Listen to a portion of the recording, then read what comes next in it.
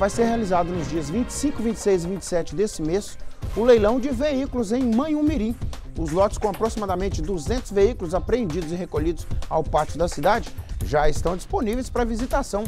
Inclusive o delegado Felipe Ornelas, ele vai falar sobre esse trabalho aí do, do leilão. Coloque ele para falar aí, DS.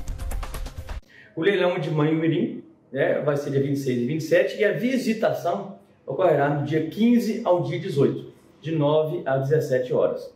É, o que seria essa visitação? Entrou no site Detran, interessou pelos veículos, clica lá, leilão Manhumirim, clicou, viu a relação de veículos com fotos, tem a fotografia deles. Gostou de um? Faz o seguinte, vai lá no pátio de Manhumirim, chega e vê de perto os veículos, abre o capô, vê as peças, vê o estado de conservação interior do veículo, né? Aí gostou, ah, agora já estou mais preparado, mais confiante para dar o lance e ver até onde eu posso chegar nesses lances. Por que, que é importante saber até onde eu posso chegar?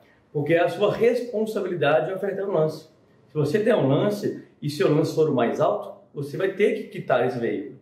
Né? E a gente emite um DAI, um, um documento de arrecadação estadual, em que a pessoa tem três dias para quitar. Né? Então é muita responsabilidade. É um documento estadual que você não pagar, você vai ser responsabilizado por crime, você não vai poder mais participar de outros leilões. Então é bom você fazer todo um estudo da sua capacidade, do que é bom para você e se o veículo atende à sua necessidade.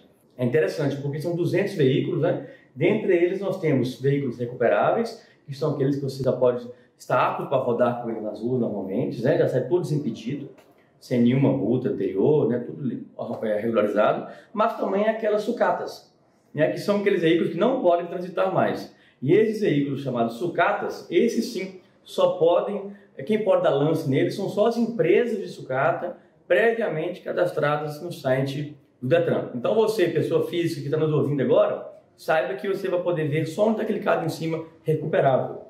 Aquele que está escrito vermelhinho, você clica em cima e vai ver que é sucata, esse você não pode participar.